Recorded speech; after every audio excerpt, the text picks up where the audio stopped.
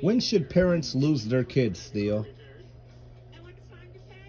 Well, you know, there's a lot of different ways the parents can lose a kid, but first of all, they, they need to be reported. You know, if you don't report a parent, the authorities never know what's, what's going on. But, you know, I think that's the, the worst thing happen is uh, somebody report you as because you mistreated a kid.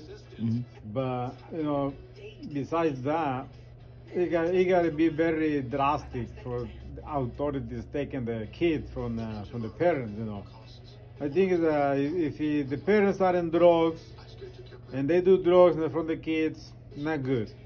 You know, or beating, beating them up, not good. But when you discipline a kid, that's not abuse. You know, you're disciplining a kid because need to be disciplined. That's all it is. If you, you know, if authorities they don't, uh, they're going to take your kids because you, you discipline the kids, bye kids.